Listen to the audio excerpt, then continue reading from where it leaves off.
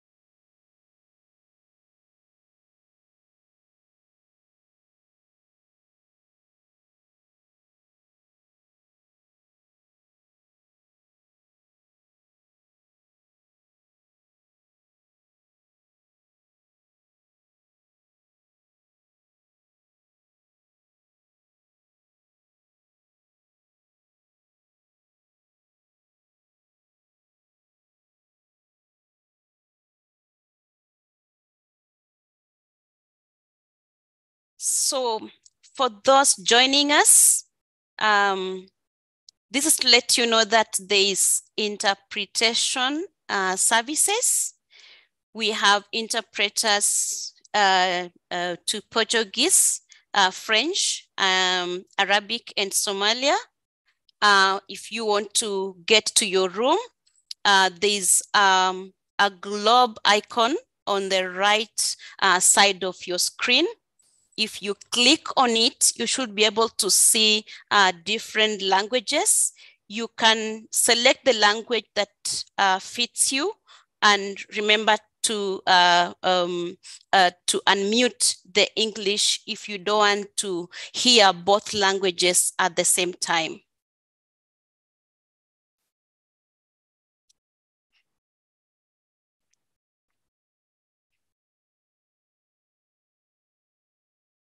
So once again, welcome to Women's Day uh, celebrations.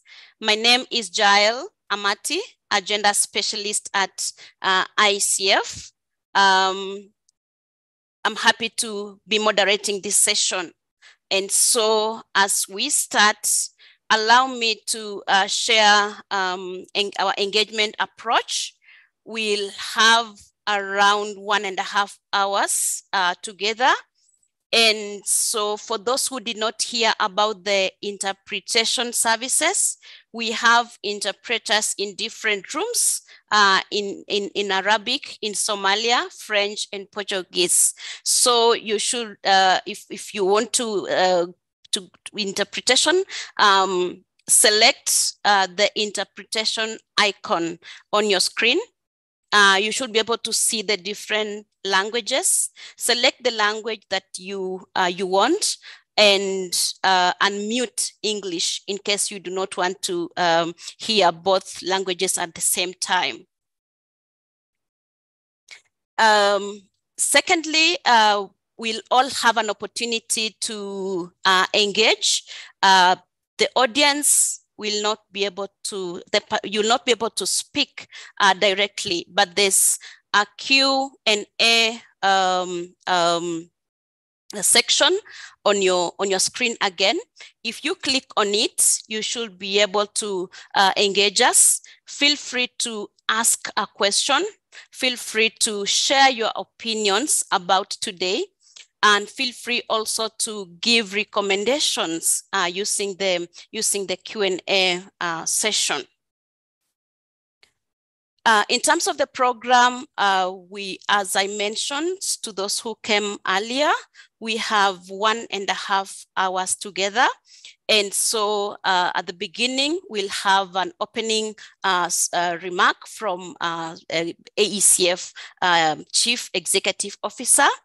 We'll also have um, a keynote speech from one of our digital and business experts. Um, we'll have a, a, panel discussion. And at that point, uh, once we're done with the panel discussion, uh, we'll be able to, um, uh, to engage uh, with your questions. So at that point, we'll be able to read out the questions and the panelists will be able to respond to them. Um, We'll then move to the next session, which is the launch of our um, uh, uh, um, program, which is a scaling uh, women uh, in business program. Um, we are opening up a new call, so you should be able to listen to it and those uh, that have not been part of it have an opportunity to actually register and, and be part of it. Um, thank you so much. At this point, allow me to give an opportunity to our CEO, Madame Victoria uh, Sabula, who will uh, give an opening remark. Thank you so much, uh, Jael, and please bear with me for whatever background noise you'll experience. Uh, the building uh, just uh, uh, went off power a few minutes ago. Uh, thank you for joining us and being a part of our community. We value you. At AECF, we live and breathe gender equity. We have been at this for the longest time. And beyond accounting for gender norms in our processes and seeing how to compensate for gender based inequalities through gender integrated programming, we have advanced towards gender specific investments through having dedicated funding for women in business. You must have seen a lot of our work over the last year advertising for opportunities for women led and women owned businesses. We also have been intentionally developing women leaders because we know that women lead differently. And we want for Africa's women entrepreneurs to be able to lead in a manner that will actually power themselves and, of course, their businesses we are now investing through financial intermediaries, looking at how we actually support the entirety of the ecosystem of entrepreneurs, from the medium enterprises to the small enterprises to the micro, so that no women woman business is left um, behind. We have lately launched the AECF Academy, and some of you are joining us today have been participants in the Kwansi program cohort one. Today we launch cohort two, and it's really about providing a platform through which businesses can be investor ready and tailored specifically for women in business. We are living in the information age, and how appropriate that actually this year's theme for International Women's Day is digital, which is really about everybody being included, innovation and technology for gender equality. It is so critical that every woman in business has access to empowerment enablers, and tech is up there given the statistics that we see around. But then, even as we celebrate uh, digital technology and what it has done, you know, across the globe, we know that Africa is way behind, and that means African businesses are behind even further women-led um, businesses. Look at an entrepreneur in San Francisco today who has a lot of digital platforms, uh, possibilities, and whatever resources are put um, in place for the reason of the advancement in those uh, geographies, whether you're talking about marketing platforms and uh, Amazon, Alibaba, Alipay, whatever that looks like, uh, content creation platforms, whether it is uh, Canva, Pinterest, all of that that is not necessarily available in the same measure in this other side um, of the world. But then we are making progress. I was just reading about how M-Pesa in Kenya has actually enabled for businesses to access credit.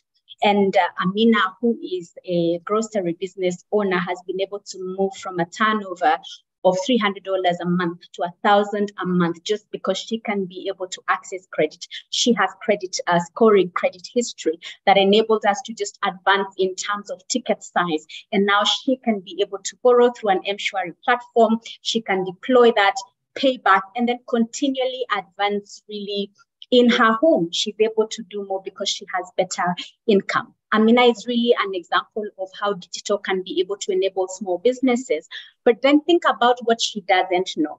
And as I was thinking about today, I just thought that there is so much out there that today's woman entrepreneur does not have access to because of an absence of you know that information they don't have the information that they need to leverage on that and I really want to encourage us as the women who are here today. Number one is women businesses that we actually be adopters of technology in our business, but also that we drive initiatives that will see more women have access to resources that will empower them.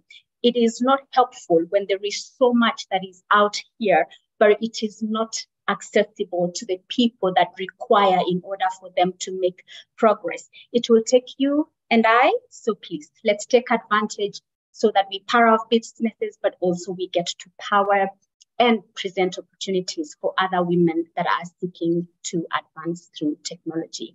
I'm excited that we are having this conversation, that we have great women leaders, and then, of course, Fahad, who is um, a, a, great inclusion leader, speaking to us uh, today. And uh, please ask questions and engage as much as you can so that we take away from these experts uh, today. With that, I want to welcome Kendi to uh, present uh, the keynote uh, remarks for today. Thank you so much.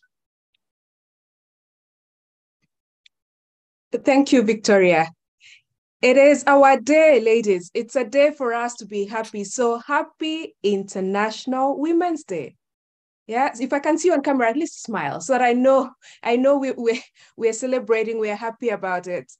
And I am so honored to be here with you today, mostly because of where how special Africa is. Of course, I'm African, and how special business is. Then to add on to that, how special tech is. So when we combine those three, today just feels like a day full of candy for me if I was a child. Like many of you, I embody various roles at any given time. When I woke up today, for example, despite the fact that I had a board meeting at 7 a.m., the first thing I did was to check if my youngest, Naitore, who will be eight soon, had left an alarming message for me on our collaboration page. You see, Naitore is the baby in the home. She's the only girl. She loves to get attention, especially from me, her mom. And she's the only girl, so I let her. I know you must be thinking, did she just say collaboration and then daughter in the same sentence?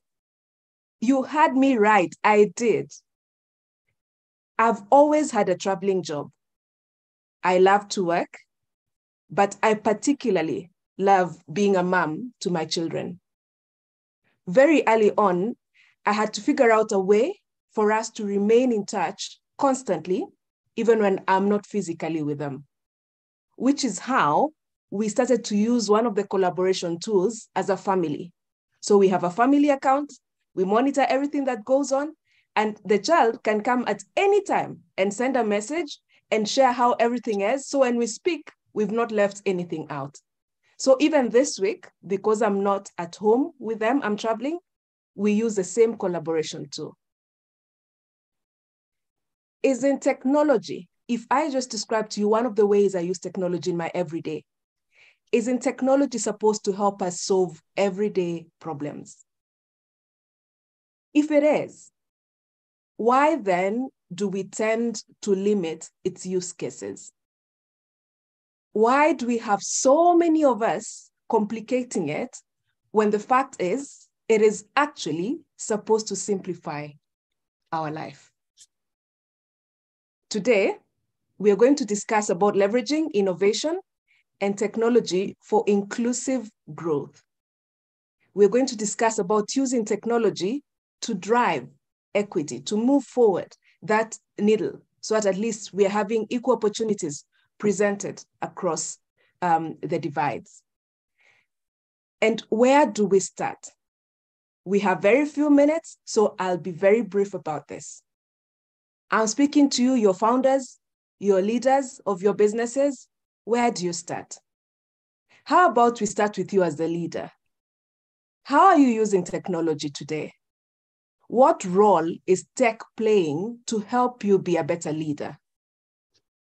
I am a student of John Maxwell. And what John Maxwell teaches is that a leader acts as a lead. And if you can see me, I'll show you. So assuming this is a bottle and this is a lead. So a leader acts as a lead or a cover, meaning to the level to which a leader is competent, the team can only come that far. Assuming we are working with competence in the scale of one to 10, and the leader is at 10, the team you're then leading can only be at nine or below. Therefore, it means if you're a leader and your competence level is at six, your team cannot scale beyond you. They will only be five and below. So, my question is as a leader, how are you using technology to help you be a better leader? I'll give you some examples you can look at. And hopefully, when we are done, you can go and explore them and help yourself get to at least a 10 so that you can help your team also rise up and deliver for you. Online courses. We are Africans. What we love? We love to go for formal uh, skilling. We want to go to class, we want to add another degree, we want to add an MBA. But my question is how often do they revise the curriculum for that MBA class? How often do they revise the curriculum for that formal degree course. On online courses, there's the agility and it's the, it's the advancement that technology brings. There's the agility to keep refining as the times change for relevance.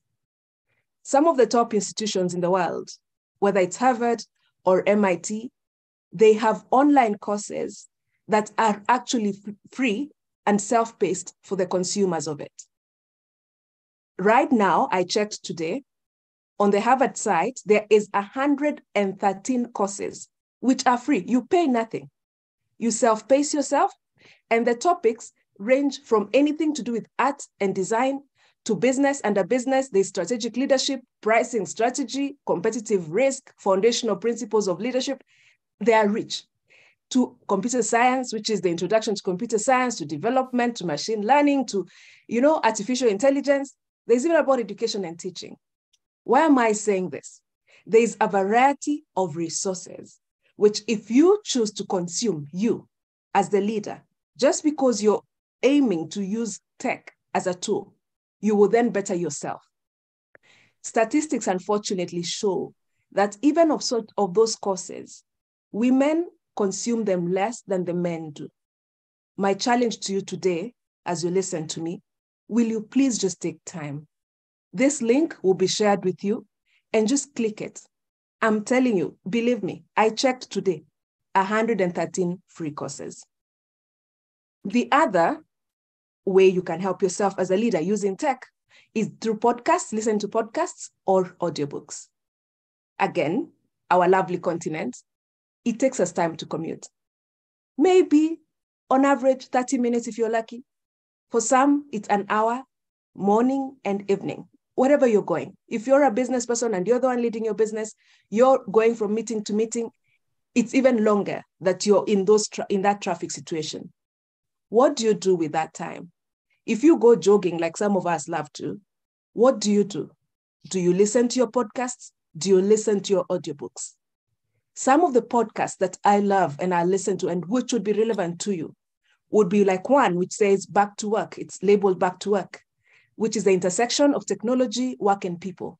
As a leader, could you listen to this and learn how other people, other leaders around the world are using tech and how you can also scale? Another would be how to how we build um, to scale or masters of scale. So if you're starting a business, how do you ensure you're building it for it to scale? Again, very key information that you can use and which you can consume in the course of your day. So choose not to listen to the comedy that they play on radio. but then choose to actually use that time to listen to something that can help you be a better leader. Thank and you. Thank when- you. Thank you so much, Kendi. Indeed, Kendi is a storyteller and uh, we'll hear a lot, a lot in the next uh, panel discussion. Uh, allow me, Kendi, because I know you've gone deeper into that, and we have another session. Uh, so, uh, can we can we can we uh, defer that and just discuss during the panel discussion? Thank you so much, Victoria uh, for, for, for your speech. As you spoke, uh, one of the things I'm really proud about is to really work under you. And just seeing that by the end of this year, we're going to be bringing over 200 uh, women led or women owned businesses under your leadership. And some of those businesses could actually be represented here. So, indeed, uh, you, you speak to your actions. Thank you so much. Thank you, Kendi. Uh, Kendi is uh, actually the global head of misrepresentation at, at, at, at, Met, at, at Meta, and we'll get to hear more about his coaching and the mentorship that he's been able to, um, uh, to, to carry out and, and discuss the opportunities, uh, the solutions, and to some of the challenges that we're actually experiencing uh, related to the uh, topic of today, which is um, digital uh, innovation uh, and technology for gender equality, how can we help women to be able to take advantage of it? Um, at this point, allow me to introduce to you the panel. Um, um, we on the panel we'll have uh, uh, we, we have four very influential uh, speakers. We'll have um, uh, Hodan Ali. Hodan is executive director of uh, Micro Dahab, uh, microfinance institution in Somalia. Um, uh, Hodan, please go ahead and introduce yourself. And as you introduce yourself, please uh, let us know um, uh, what, uh, how this topic of today, embracing gender equality, how does it matter to you?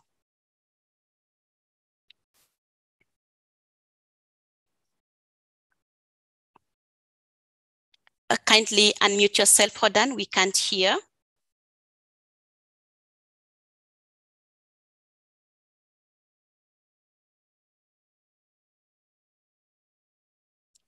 Um,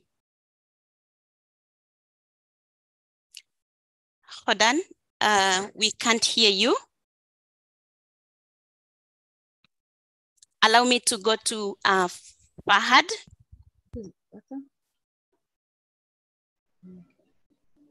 Are you okay now, Hodan? Yes, can you hear me now? Yes, proceed. Okay, perfect. Thank you so much, Jael and AECF for organizing this event, which is really needed, and for trying to be as inclusive as possible. Uh, I know a lot of people, uh, you know, um, may have not thought that Somalia would be reached, uh, being in a in a very um, uh, in a place that most people think that there's no development.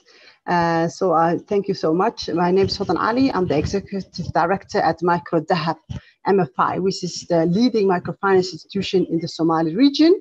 Um, especially, uh, we work with to empower women, youth, and the productive sector, which is uh, unbanked uh, currently uh, in the Somali region. We've been operating for over uh, the past eight years and have uh, a large portfolio. And we are working currently with AECF on the Financial Inclusion and Growth Program to ensure that we can reach those unbanked communities uh, within the Somali region, especially those in the rural areas, and especially focusing on the youth and the women. Digitalization is so, so important for, for our region uh, because basically the infrastructure is lacking. But because of the, uh, of the um, new technology available, we have skipped a lot of the uh, industrial revolution that has happened in other countries and uh, moved straight to the uh, digital age, allowing us to uh, ensure that our clients can use mobile phones to access their finance and uh, access information without them leaving their towns and their businesses. Um, I will uh, uh, elaborate later on, uh, but that's for my side. Thank you. Thank you so much, Hodan. And next we have um, Fahad Awadi. uh, who is the CEO and founder of YYTZ Agro Processing Plant in, in Tanzania. Fahad. Yeah, thank you, Jill. Uh, good afternoon. My name is Fahad. I'm the founder, and I like to call myself the Chief Cashew Officer at YYTZ. That just means that all I think about is cashews all day. I really look forward to this discussion around uh, digital technology and gender equity. Um, our business is the intersection between uh, global value chains, uh, value addition at origin on the continent, and women empowerment. And I look forward to sharing how we are using technology within our value chain to empower women uh, to help them move forward uh, in their lives. Thank you so much, Fahad. Uh, we have um, Hixonia Nyasulu, who is um, board chair of AECF. Hixonia. Thank you, Jael. Um, let me let me start off by welcoming uh, everyone to this webinar of our investees, uh, development partners, my fellow panelists, uh, Victoria and yourself, and my, my AECF colleagues, and everyone, in fact, who has joined the webinar. And happy International Women's Day to all of you. My name is Hixonia Nyasulu, and as I said, I am the chair of AECF, but I'm also a board member of AGRA and also of Anglo American uh, PLC. But my biggest and most important title is that I'm myself an entrepreneur and have been since 1984. I don't know how many people actually realize that the first international women's event was held on the 19th of March, 1911. So that's 112 years ago. And it took 64 years. So only in 1975 did the United Nations actually recognized this. And now, another 48 years later, it really pains me that we're still talking about equity for women despite a 112 year history of International Women's Day. And it's an indictment on all of us and on society, quite frankly, that women are still on the short end of this digital divide.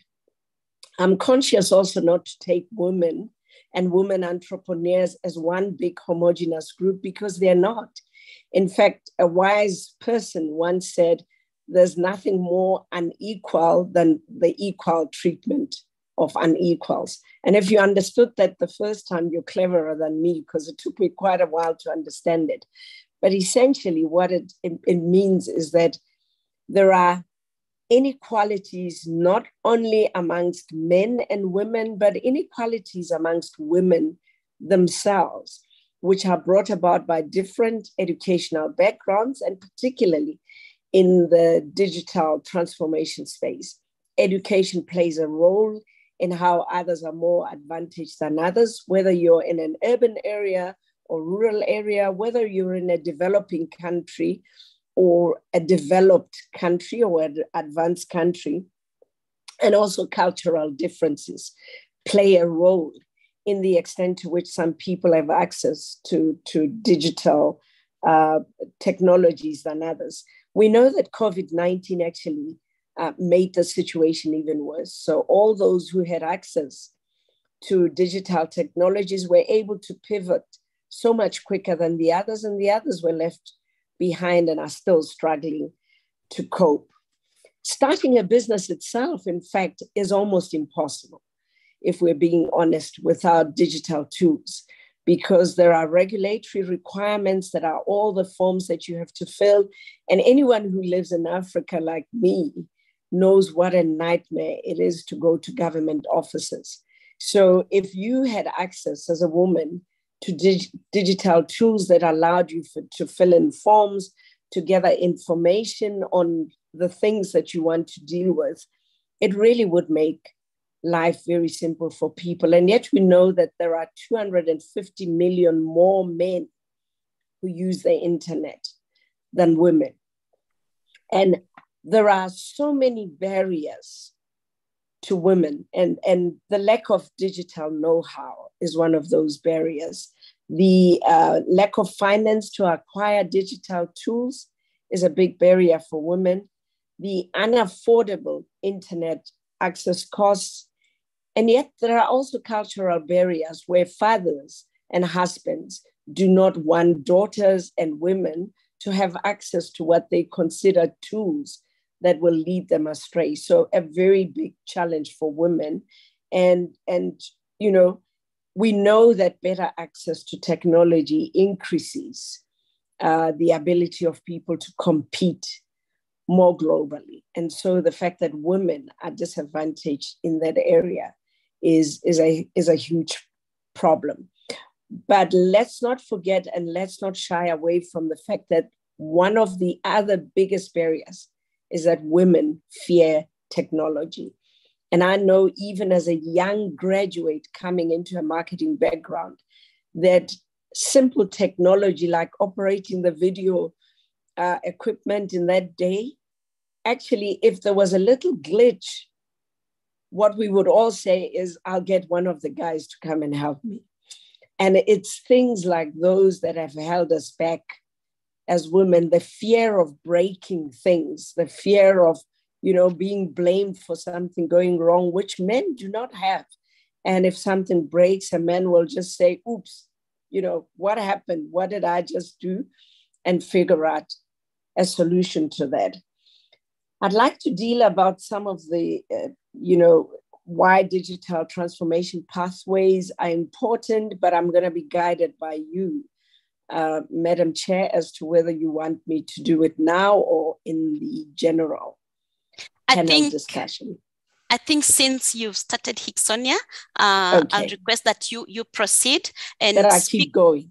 Yes, okay. speak to your experiences while starting your um, the first women-led uh, investment vehicle in South Africa. What kind of stereotypes did you uh, did you experience, and from where you sit uh, as as a global leader, also look at um, um, how um, you know, adoption, how can women entrepreneurs set out uh, on a digital transformation path, you know, right. from you from your experiences?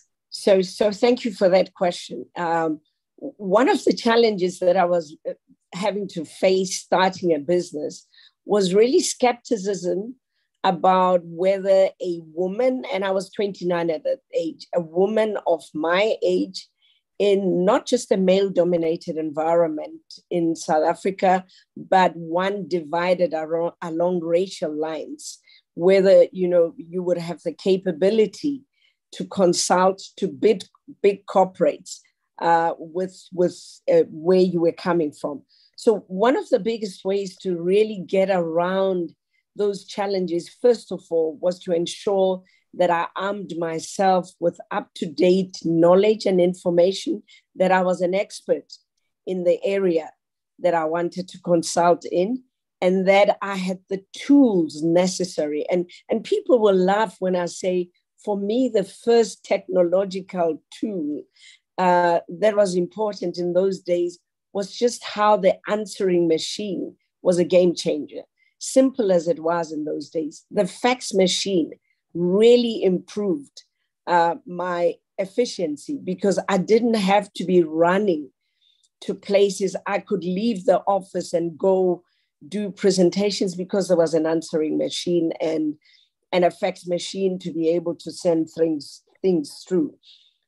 But better cash flows because people, your clients were no longer using checks but they could pay you, they can pay you instantly, really made a difference uh, having access to those kinds of things.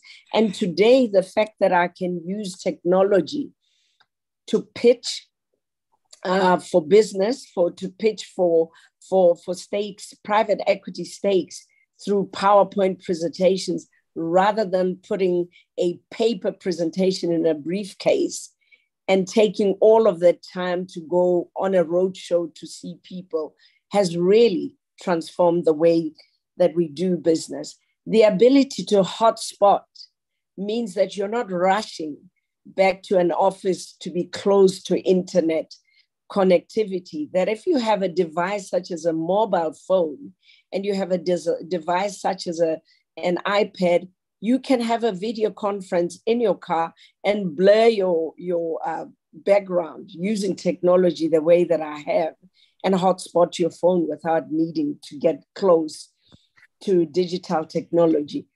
But we know that many women don't have access to that. And, and that's what really pulls women back. The fact that they, you know, do not have the technology to give them information that gives them the ability to scan the environment, look at what their competitors are doing, which is the advantage that I have had in my space, is I'm able at the touch of a button to, to educate myself on the sectors in which I want to do business, but not just that, to have information to things like the Harvard Business Review, which give you access to mega trends. So when you speak to customers, when you speak to clients, when you're pitching for business, you have up to date in- information on your fingertips. So thanks, for me, this digital transformation has been extremely important for my business.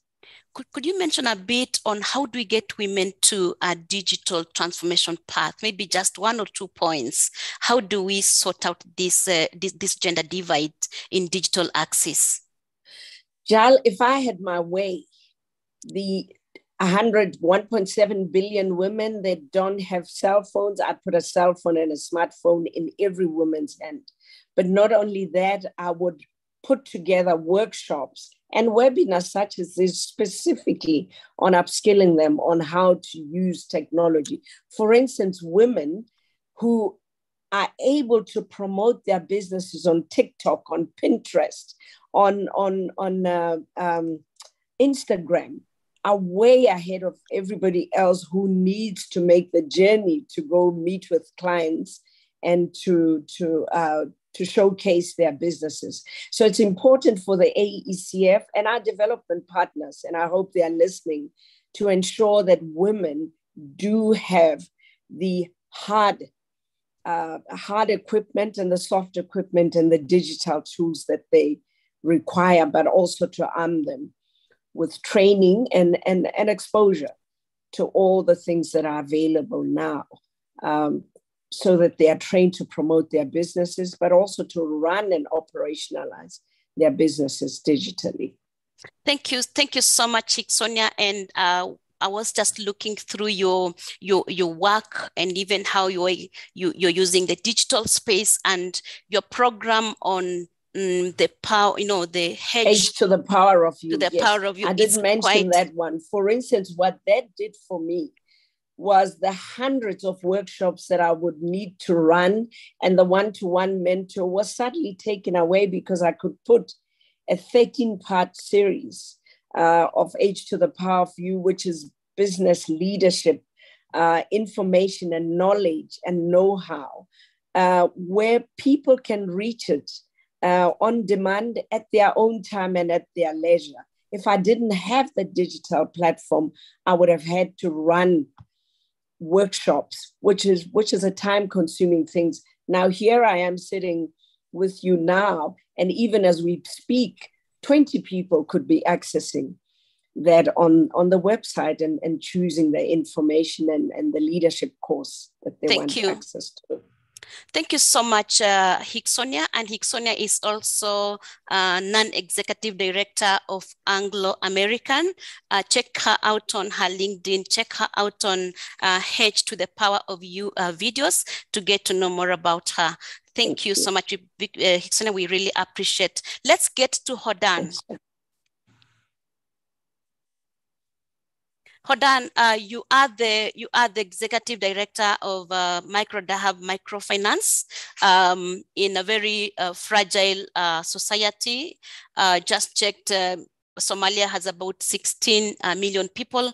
Out of this 16 million, actually uh, only around 2.5 million actually live in the urban centers, meaning that a lot of your customers, a lot of the people that you're reaching out to actually living in the rural areas. Maybe could you uh, just uh, uh, share with us how you've been able to make use of the digital to be able to um, access and reach out, um, bring about gender uh, equity and bring on board the most marginalized people uh, to the banking sector? Uh, you need to. Yes, I need to myself. So thank you so much, Al. Uh, yes, so Somalia is in the uh, is is. In you are muted again. Kindly unmute. Okay, sorry. Uh, we are in a post-conflict area, um, and so the interesting thing is that uh, Somalis by nature they are very entrepreneurial, uh, and um, even those uh, female entrepreneurs, and no matter how small their business is, uh, are always looking to see how they can ensure that they can feed their children, ensure that they um, keep the family going. Um, and but the challenge is still that uh, the lack of lack of information and ensuring that get, that they get the same information as as uh, other male entrepreneurs. And for us, as a basic, uh, as a phone, a basic uh, phone, not a smartphone, what we have used is the uh, USSD code that clients, we can interact with clients, we send them messages uh, to provide them information on uh, the loans that they can get, which are as, as small as $100. Uh, and um, basically what they can do is you can send us a basic text back saying yes or no. And if they're interested, um, one of our uh, call centers will contact them to speak to them. So instead of the, our uh, employees traveling all the way to the rural areas, uh, they can be based in one of the major cities and call them back, explain to them uh, what kind of products we have available and how how they can get access to finance. So without them traveling all the way to the city, without them um, uh, you know missing time, uh, taking time away from their businesses, which is very essential because as you know, the turn uh, the turnover for micro small businesses is very small. So if you take some time out of your business, it is going to be a, a, direct loss, which is uh, impacting uh, our clients. Um, furthermore, what we have also done is um, uh, radio podcasts. So radio is the main uh, source of information that um, uh, most female entrepreneurs use to get access to information.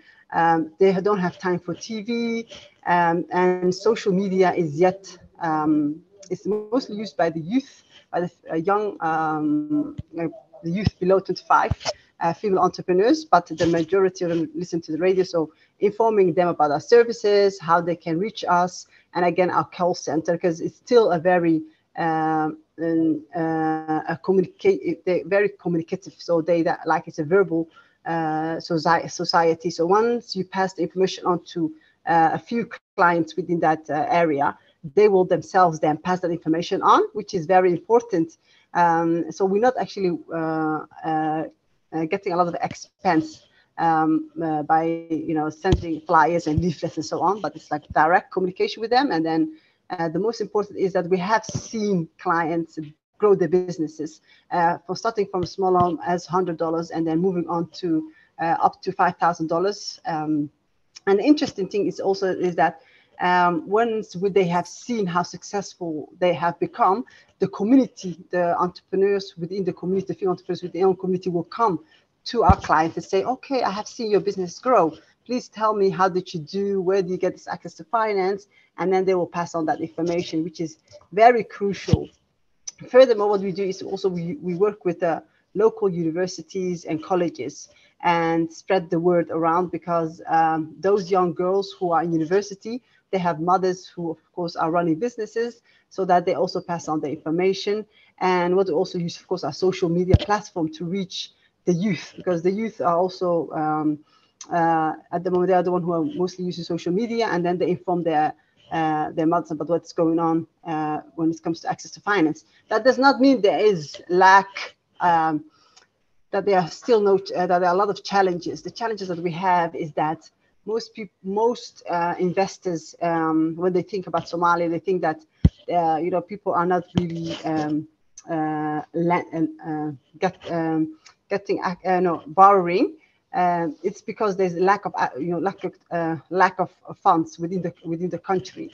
Most banks and micro uh, before the microfinance institution came uh, within uh, Somalia, they are focusing on trade. So uh, you can start about loans above fifty thousand and above, which were only having impact on twenty percent of the of the community. Within the Somali region. So when as soon as microfinance institutions entered the market, um, we saw this massive uptake within the unbanked community, which is very essential. And uh, especially for the youth, um, whether we talk about the youth as uh, female entrepreneurs or, or, or, or, male entrepreneurs, um, as soon as they saw that they were able to upskill their business or start businesses, they were able to get loans from us and other other microfinance institutions within within the region.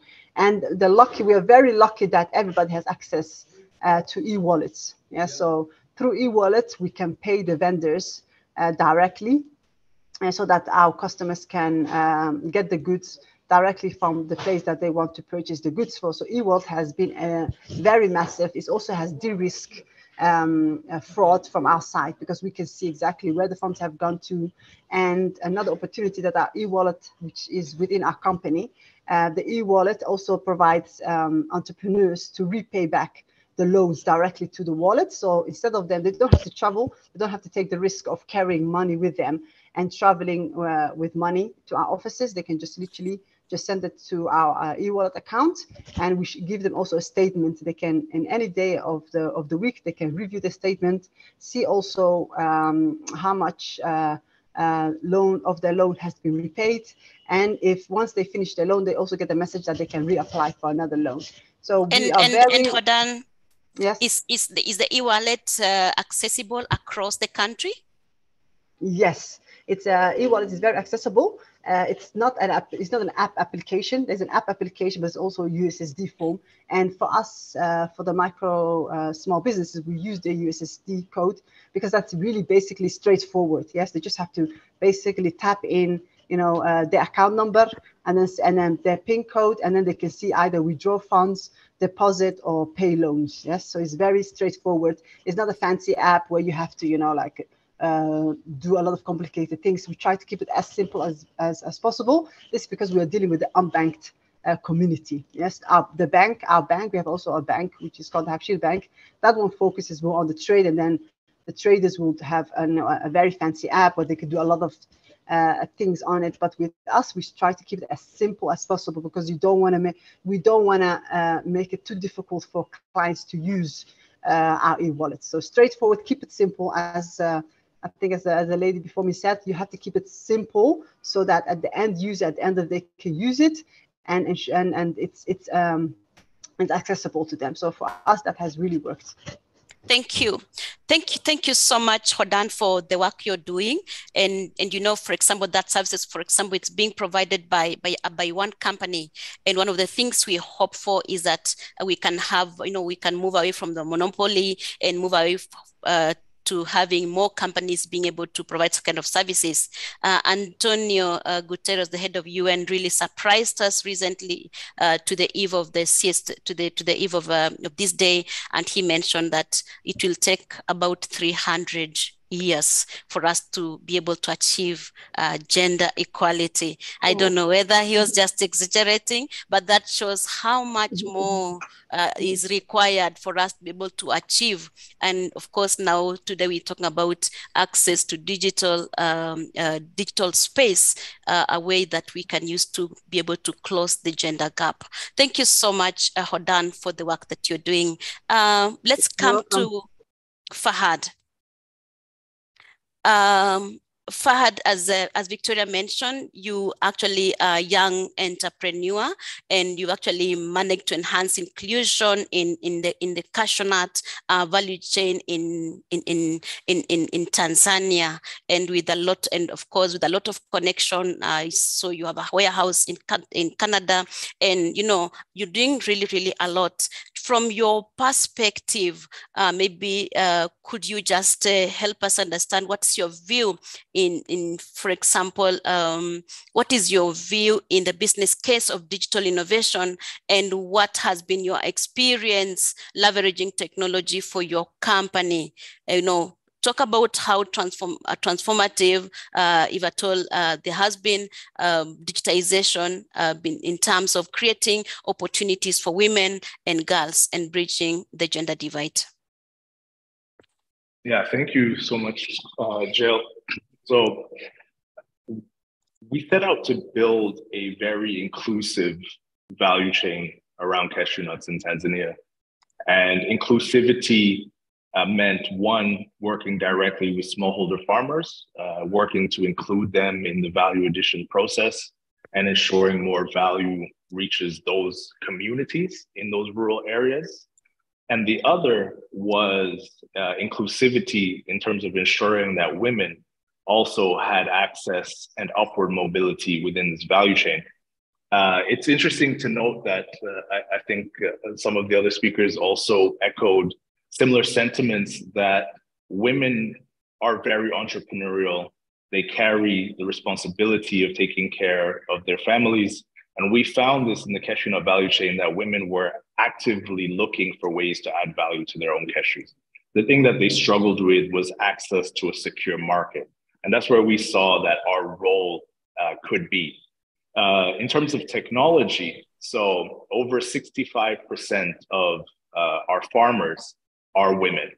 Uh, and we've used technology to underpin the entire value chain uh, from registering farmers, digitizing receive, receipts of uh, cashew nuts from farmers, and then finally digitizing the payments directly to each individual farmer's uh, mobile wallet or bank account to ensure that the proceeds from their work actually goes to them and that they are the ones that end up benefiting.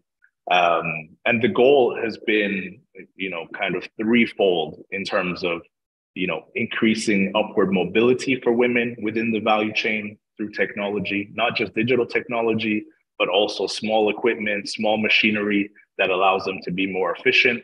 And i don't know how many of you have seen cashew nuts but this is a cashew nut um, from Tanzania. And what we do is we help women to remove the shell from their own cashews. Uh, today, unfortunately, most of the cashews produced in Africa are going to India or Vietnam for processing. And we wanted to bring that value back to the continent, but also making sure that the farmers and the women in those communities were actually able to benefit directly by allow by helping them to remove the shell we're also able to pay them premium prices. So we pay them over 60% more than if they were to sell these raw cashews into traditional markets. Uh, and then the third is really just transparency. So visibility on pricing, market pricing, they're able to see what the market price is. They have access to that knowledge, which I think we heard also earlier. Um, and then also now uh, the ability for them to sell directly to us, uh, register themselves, and receive those payments directly into their bank or their mobile wallet. Um, and the other part of this value chain that we've really looked at was the consumer facing side. Uh, cashew is a very opaque uh, value chain. Uh, most of the cashews are grown in Africa today, but most consumers have no idea where they are grown or by whom they are grown. And so we've worked to develop a traceability system and build that into our products, which now allows a consumer to scan a QR code using blockchain technology, and they can see which women's group that particular pack of cashews came from. So we want to create transparency and uh, the ability to empower farmers, not just at the rural level, but also from a consumer's perspective. I think the end goal of this is having a final consumer be able to actually uh, tip a farmer because they enjoyed those cashews uh, so much. Thank you. Thank you so much, uh, uh, Wadi, for being a gender champion and we look at the number of uh, you know employment you've been able to create especially for women through your through the company and it's quite amazing and we will please remain agenda champion in the space. So at this time, um, we have a few minutes left, uh, but this doesn't limit you, Kendi. Uh, kindly surprise, uh, summarize the, the session for us by really now getting to the solution um, because of your storytelling skills, what does a good uh, story, uh, what does a good digital story uh, telling really look like? Uh, I think one of the things I receive, one of the issue I received from women is that you know they're always told to uh, tell the stories of their businesses, and this is not their thing. And I think there's an opportunity to really uh, maybe build their their ability and and just share some insights insights on this. Uh, thank you, Jael. And I know we're tight for time. So what I've done on the link, I have shared resources for businesses. Um, just to call it out, I know one of the uh, the speakers, I think it was the chair, Hixonia, she did mention that how much more can businesses that are in Instagram or TikTok or whatever in social media, how much more can they do? So some of the resources I've shared is how the businesses, um, the women in this call can access the resources that would help them at least gain the digital platform or the journey to that. Uh, just go through that. It is self tutoring, it is self explanatory. You can take advantage of it. Uh, the other resource I have shared is all from uh, what I've shared is from Meta. I work for Meta, so that was a priority. Then the other um, that I've shared is for, from Google. And what Google Google has um, a founders, a Black founders application that they are rolling out, which is closing on 26th of March. And what they want is women, uh, Black founders operating in Africa to apply. So there are cash grants in it, there's mentorship, there's product development. Um, take advantage of that. Again, I have shared the link for you to utilize. And now to the question that you asked about stories. Um, what can businesses do uh, I know you said earlier, Jael, that I'm a storyteller. It is true. And the reason I adopt storytelling, or the reason I have seen different businesses around the world do very well with storytelling, is because stories help you, the founder, you, the entrepreneur, bring people along your journey. They help you understand you better, which then builds empathy and they can then buy into your vision. Stories help you and answer your why. Why do you do what you do? Why is it important to you? You check for each founder, especially the successful founders, which you are for you to be in this call. There's a reason you started the business that you started. And that reason is usually very personal. And only you can tell that story. So when you tell the story, you're actually able to bring people in and you're able to answer your why, which helps people care. You're able to answer why should we care for what you care. And with that, then you're able to bring resources on board your enterprise and uh, whether it is resources of money or resources of people to just pitch in and help you succeed better.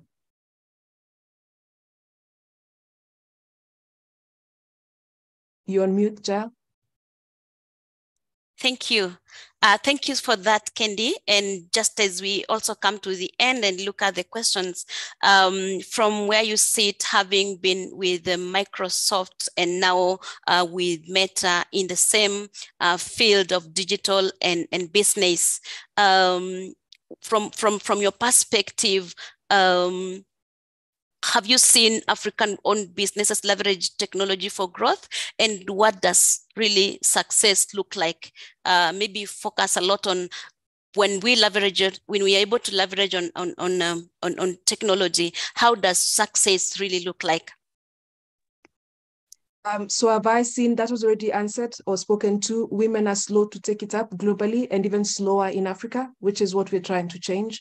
Um, what does success look like if you adopt technology? Really, the podcast that I did share, I think I'll I'll text them here. Listen to them. If you listen in, you're able to scale. When you when you're a founder, how much more can you scale?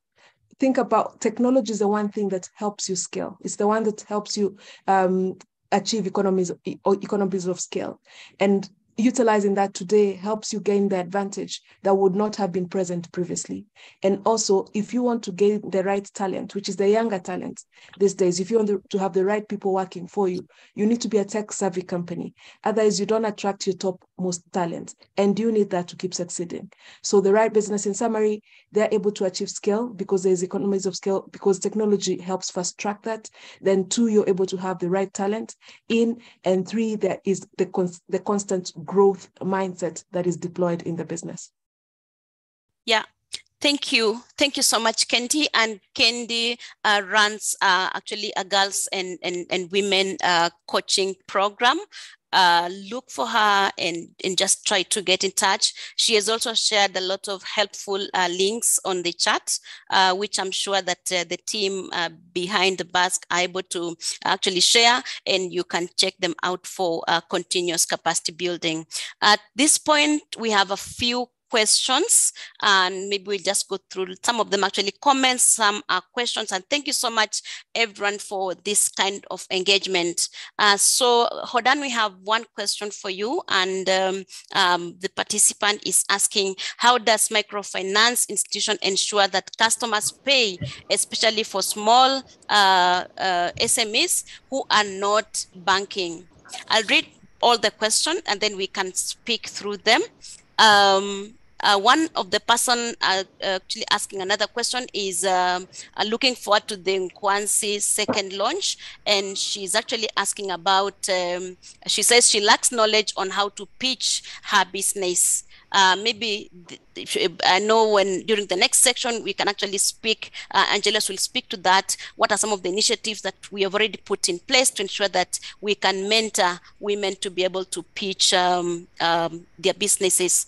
The other question is um, a general question, and she asks how women leverage technology to make their ideas into action. I think as Kendi spoke, she's already alluded uh, to that. But Kendi, you may want to add something to that if uh, there is. Um, and then lastly, uh, we have a question. Um, uh, uh, she says that we see that a majority of people on the course are eager to learn through online platforms. Uh, thank you, Kendi, for sharing uh, the provoking information and professional development. We shall be uh, sending the link to the noted platforms in the upcoming email. so I think this is just a note, but to uh, Hodan, I think you have a question, and then um, Kendi, if you'd like to uh, make an additional uh, sentiment. Thank you so much, Jael. Um, so I will try to elaborate very short. Uh, so first of all, uh, it's very important that um, the staff that you hire are within the community that you're operating. Yes, uh, this is because they will know who is who. They can also um, and they can also leverage on the network that they have within that community. So for us, the most important is to always hire uh, people within the community that we are servicing. Uh, then once the uh, credit officer is of course trained, they will always go on the field and visit the entrepreneur. Yes, does, she or he uh, have a shop? Yes, and then visit that shop and also speak to the community around where the shop is. Yes, because sometimes what you get is that people apply on behalf of their brother or sister or uncle. Yes, so to ensure that whoever is applying um, in the name of that business is actual owner of that business. So it's very, it comes to the very important to engage within the community that you're servicing. Furthermore, of course, there's oh, we require a guarantor. Yes, somebody uh, who will witness the uh, the agreement between uh, us and the person that he or she knows, but who is able to also step in in case there's a default. So if the repayment is, let's say, $50 a month, the person who's guaranteeing uh, the, uh, the entrepreneur that we're financing has to be able to show a pay slip that that they're working or they're in business to show that they're able to cover uh, uh, if there's in case of there's any default. Furthermore, of course, everything is notarized. Yes, you go to a notary to notarize everything. Um, uh, rules and regulations in this country are not yet uh, working appropriately. Uh, so the, if you go to court, it will take a lot of time. But because there's a trust within the community, what we do is we notarize and also always get a, uh, a guarantor to witness the transaction. So I, I hope that uh, assists.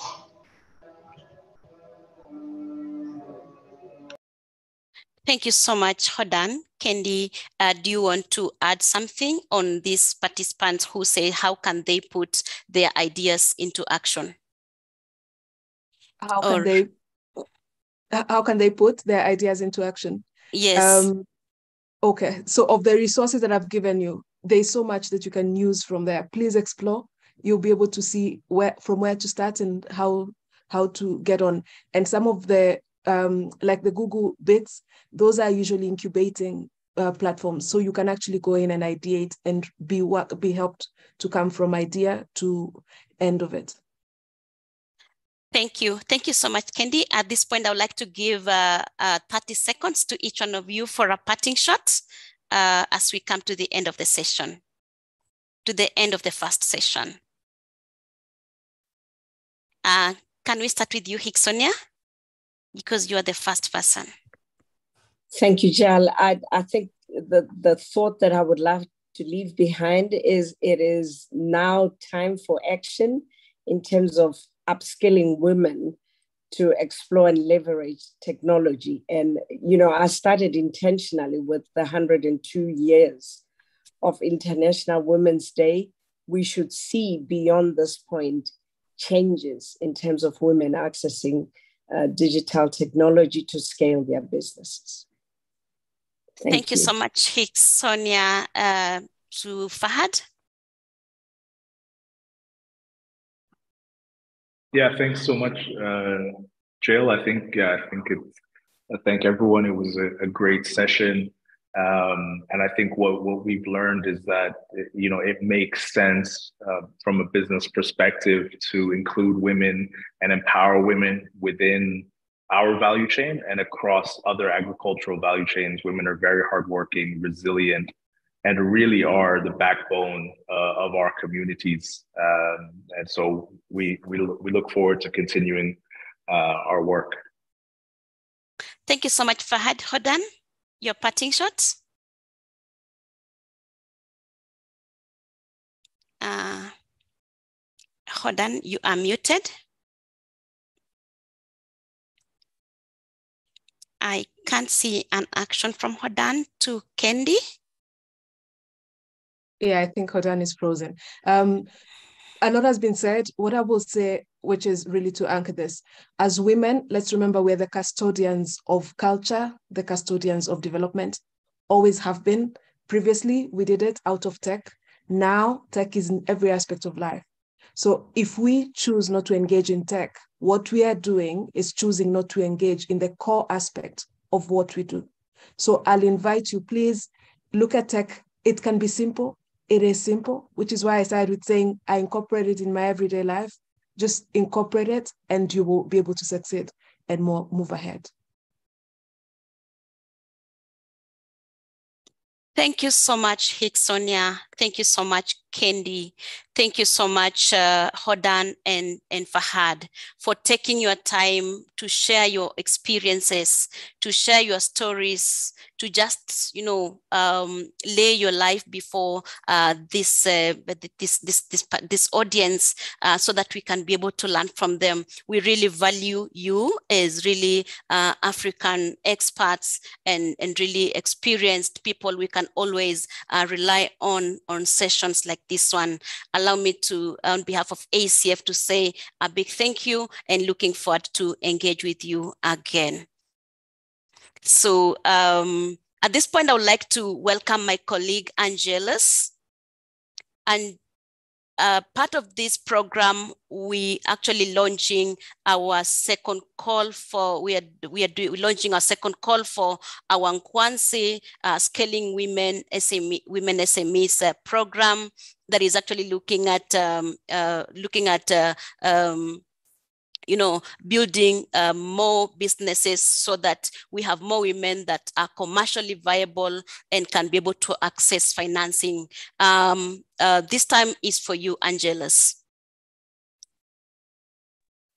Thank you very much, Jael, and happy International Women's Day to all the women and all the ladies in this call. Um, we have this amazing opportunity um, to introduce to you Nkwanzi.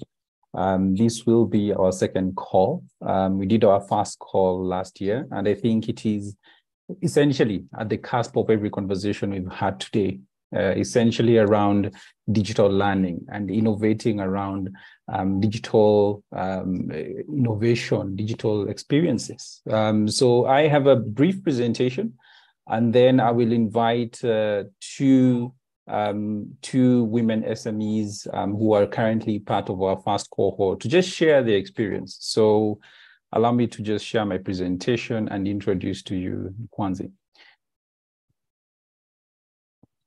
So Nkwanzi is uh, women. Uh, it's it's a it's a women in leadership program. Essentially, in partnership with the AFDB and our, our project, uh, we conceived this project around scaling women SMEs, um, and and that is in essence all we want to talk about in this session, and it it literally it it, it literally just embodies every conversation I've had today from building an equal uh, an equal treatment um, for unequals, um, ensuring that um, all you can tell is a story that people can believe in, and, and a lot more, especially around the digital content. So, as AECF, we're coming from a place of seeing it um, in real life that women no longer, or for, for the longest time, have not had um, capacity in terms of presenting themselves to financial institutions, telling their story in the right way, and being able to even access financial instruments that speak to them. But there's the other side where it's it's been a perception where women women have a higher risk when you invest in them, or that female entrepreneurs are generally um, perceived to be smaller businesses, and and we want to break these barriers. So as ACF, we put together this project essentially to start breaking this barrier. So Nkwanzi is established as a women-focused investment readiness program, essentially to do two things. One, unlock the potential of women-led enterprises, and two, support them in unlocking um, capital that they require to, to support their enterprises. And, and we envision to do this in a couple of ways. And, and what we have is a women-centered mentorship coaching investment readiness support um, that also filters into facilitating conversation with investors. Uh, we're currently working with the Africa Guarantee Fund on the supply side, uh, working with financial institutions across Sub-Sahara um, to help them understand what it means to invest um, in women enterprises across the continent. So the program is structured um, over about six to seven months, dependent on your pace as, as a learner.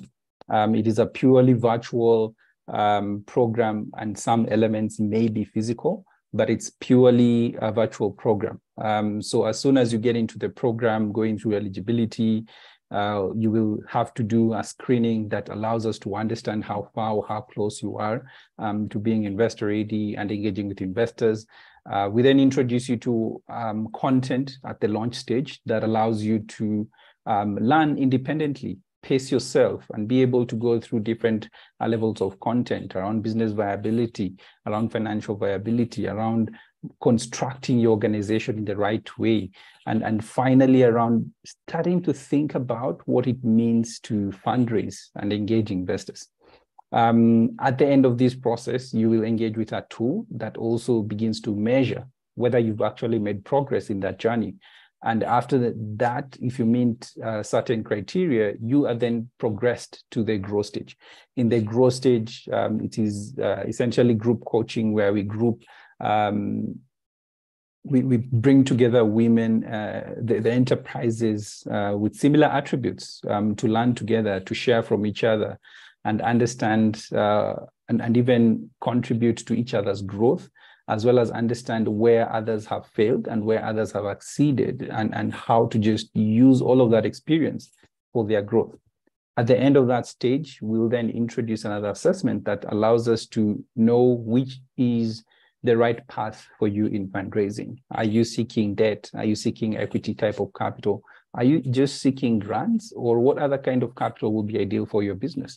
And at this particular point, we'll assign a coach, an independent coach for you and mentor to walk the journey with you. So we anticipate this progress, uh, this to progress into um, active fundraise for all the companies we support. Um, so we are envisioning that as a follow-up to the second call, we will be introducing all applicants to the self-directed content in, in the month of March and into April. Um, thereafter, we'll get into the group coaching from May all the way to July. And the one-on-one coaching from August and into December will just be focused on fundraising for the women enterprises. So you must be wondering, what should you have to qualify for this um, pro program? Essentially, we expect that your business is woman owned, woman led. So, and, and this for us means at least 50%, more is better, but at least 50% of the business is, is woman owned. Um, you've been operating for two years. It does not need to be formally registered business, but we need that you have been operating for two years and you're able to provide documentation to, to, to just prove that. And you're operating in nine of the folk in, in, in any of the nine focus countries that we have um, for the program, which is Burkina Faso, Ethiopia, Kenya, Liberia, Mali, Mozambique, Tanzania, Zambia, and Zimbabwe. Um, in terms of sectors, we have some primary sectors, even though it's more agnostic, um, but focused on agribusiness, renewable energy, financial services, education, water, sanitation, technology, um, as well as healthcare. Um, if you are at least generating revenues of 50,000 or anticipate to generate to generate revenues of 50,000 this year, we'd definitely like to hear from you. We'd like to see your experience. We'd like to see what your business is about. Um, and, and you must be ambitious in terms of looking for funding. Um, the minimum we want to consider is $10,000, and we are open to support companies that are looking for up to $5 million. So there's no limitation in terms of how much you're making and how much you're looking for, but our sweet spot is between $10,000 and, and uh, $5 million. So we are looking forward and ready to support you with that. So in terms of what you can expect from the program, um, as an initial benefit, we will run business clinics to uh, the women enterprises that will have applied uh, or will apply within the month. And this is an initial screening just to just to give you initial advice, just to give you a sense and a taste of what it means to go through the program um, we will begin to address the barriers of accessing finance. And, and this is by introducing practical tools and templates. And the entire content that you will go through, which is in total about 31 learning areas, introduce different tools and, and, and processes and systems that you can embed and, and work with in your business. Um, the platform allows you to bring in your team. So it's not just the CEO or the or the proprietor who is in the platform that's benefiting, it is it is accessible with by teams and, and dependent on the conversation you're having, you can bring in different teams. and get you to a place you are investor ready. Um, again, storytelling is almost the beginning of every investment readiness journey. Are you able to tell investors, including financial institutions that you're approaching, even for a simple uh, debt instrument? Um, can you tell them their story? Can you tell them what you're going to use the funds for? Can you tell them what they can expect in terms of getting their money back? And these are some of the things that we essentially go through. Access to finance, we will host uh, boot camps, and, and these boot camps essentially is um, the coming together of the demand side and the supply side. And here referring to the providers of capital being in the same room with you as the entrepreneur and, and sharing ideas and opportunities of what it means um, to have the right structure and the right instrument and the right process for your enterprises to access money. Um, we'll do this at the country level, so it becomes easier to engage even the financial institutions. And then, given it's it's a virtual and digital learning experience, we have embedded a lot of peer and networking engagements. And, and this refers to forums that you will have access to.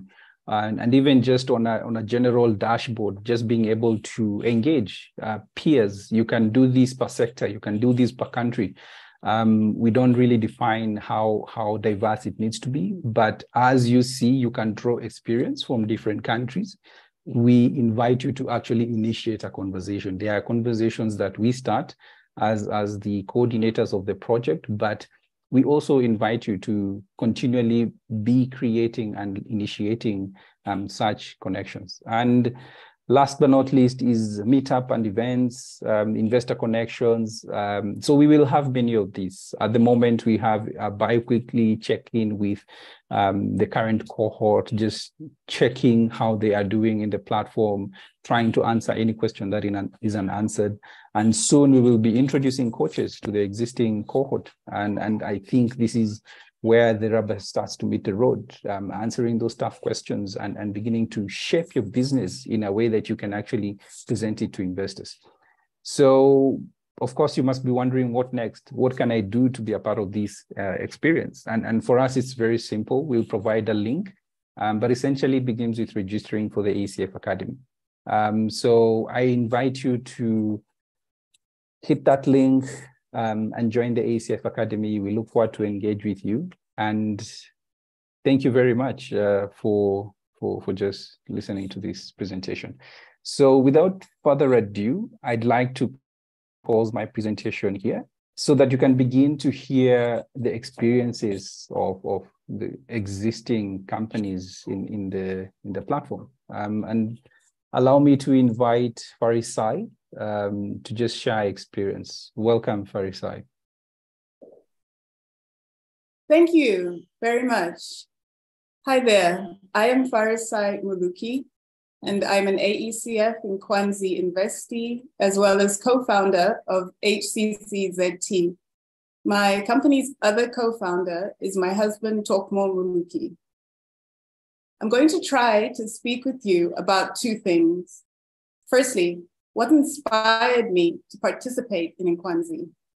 And secondly, how I apply my new learning to our business strategy, especially since Nkwanzi trains us to create new documents for our portfolios. Before we get into it, a word of welcome. Happy International Women's Day 2023. This is an important commemoration and I'll join the conversation just to say Mother Nature is the great messenger. And this natural digital photograph of clouds and light behind me here depicts something very, very special. It depicts a woman dancing with tears of joy.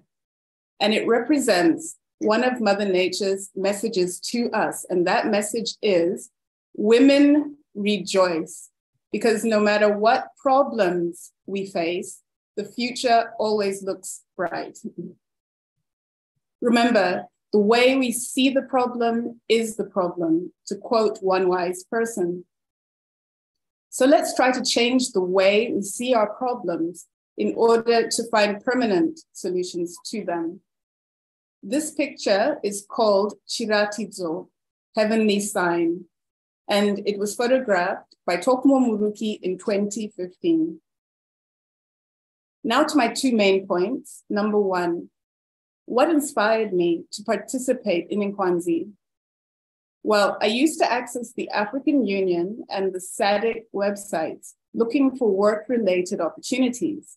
And at the end of last year, I came across an attractive link to the Nkwanzi platform it was very easy to access and very easy to use. And I felt right at home within Nkwanzi. It was like looking in the mirror because the site really described the experience that I felt I was having with our company in terms of the struggle to grow and to access resourcing.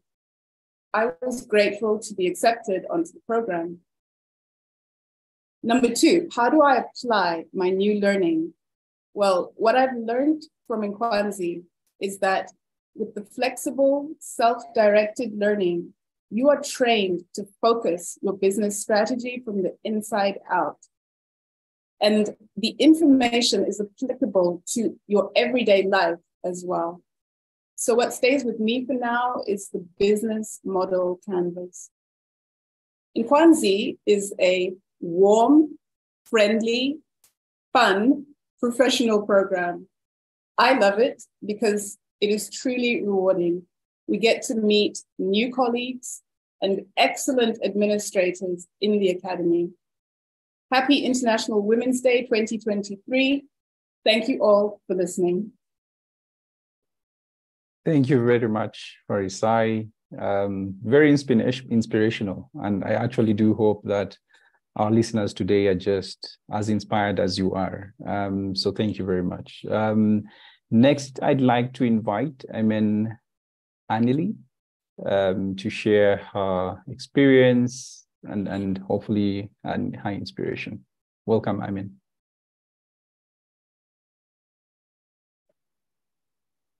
hello, everyone. Happy International Women's Day again. And my name is Amen Anile, and I'm here representing Green Sea Energy PLC. And we are based in Ethiopia, which a company which can distribute solar products to off-grid rural communities of Ethiopia. And I work there as a business developer. So the first thing I'm gonna tell you is about how my participation in the program impacted the company. And our objective to apply for the call was to enhance the company visibility and access the capacity building pro- programs on the fundraising so that we could attract investment. And the experience so far with the project was very supportive in a way that we were able to assess the company in its investment readiness. And we were also able to make some changes using the materials uploaded in the ACF Academy. Um, specifically for Greensin, the gender action plan, fundraising plan templates, and data room preparation has been very informative for us. Uh, the other thing is the resource on the platform was a great way to grow one's startup in a way that it can save your time to prepare the formats and so on. Aside from the academy platform, the networks in there were also wide enough to reach people from various backgrounds and uh, but with similar uh, entrepreneurial mindsets. Different opportunities and articles were also shared, which was one of the other reasons to, to stay in the program. And all the lessons were applicable and shows areas we need to improve to continue strengthening and growing the team. Thank you, ACF and Nkwanzi, and all the mentors, developers, and funders who make this possible. I personally, I personally would recommend Nkwanzi Scaling Women SMEs program to unlock your potentials. Thank you for having us. Thank you very much, Amen. And I would have said a round of applause to both Amen and Farisai. I mean, if you were all in a meeting room, it would be. Thank you very much. Um, so I think without further ado, I would like to announce that the second call for Nkwanzi is now live. Um, we, the link has been shared on chat and you are invited and welcome to submit your application. We look forward to engage with you in the business clinics over the month of March. And if there are any questions, I'm happy to take them. Um, uh, we have a few minutes for that. Yes.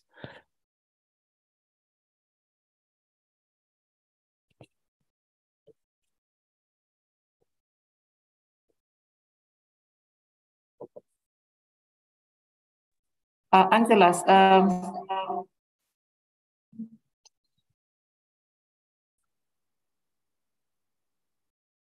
one of the questions is around eligibility criteria, so maybe you can respond to that. Um, question here, 50,000 annual revenue may be a bit niche. Is there flexibility in the criteria? Um, thank you, thank you, Gladys. Um, in terms of the eligibility criteria, I can quickly reshare my screen and go back to the eligibility criteria. Um, the focus for us is identifying women enterprises that are at least two years in their operating cycle and in operating in nine of any one of the nine focus countries that we have highlighted. In terms of sectors, we are pretty much agnostic, um, even though we've listed some of the um, sectors where we'd like to see applications. In terms of revenues, um, generating revenues of at least $50,000, and that is in the previous year, or you're planning to, or have significant confidence you can generate $50,000 in revenues this year. Um, so I hope that answers both questions, Gladys.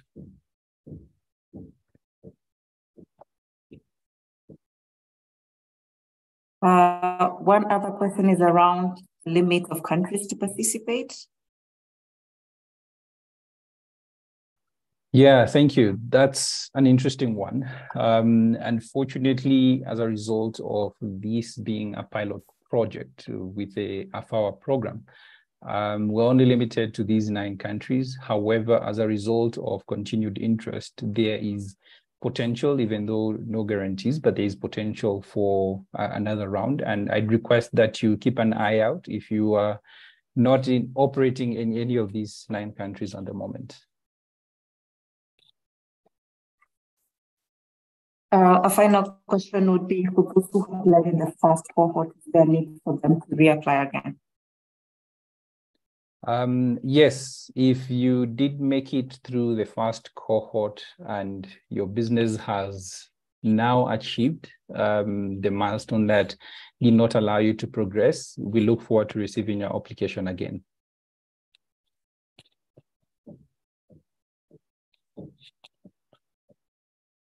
Uh, do we have time for one more question or it's on top of the hour? Because there's one last question around is the application on Nkwanzi an extension of the application submitted for investing in women in the blue economy in Kenya? Um, I'll take that as the last question and then we can wrap it up. Um, the straight answer is no. Um, these are two separate um, programs. So the AECF and Nkwanzi program is separate from the investing in women in the blue economy program. So if you are interested in both, then you are supposed to make applications to both.